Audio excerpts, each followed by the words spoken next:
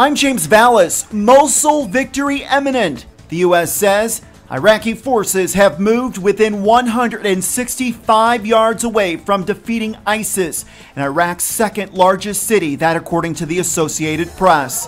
Iraq will announce eminently a final victory in the nearly nine month offensive to retake Mosul from jihadists, a U.S. general said Saturday as celebrations broke out among police forces in the city.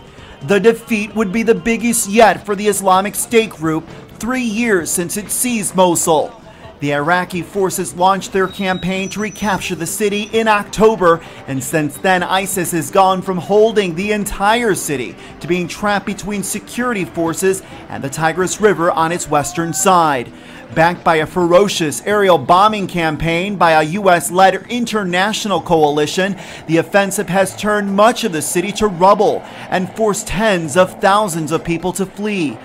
Die-hard jihadists have been putting up fierce resistance in recent days, but their efforts to keep the Iraqi troops at bay look to be coming to an end. For the very latest, stay with BNONews.com.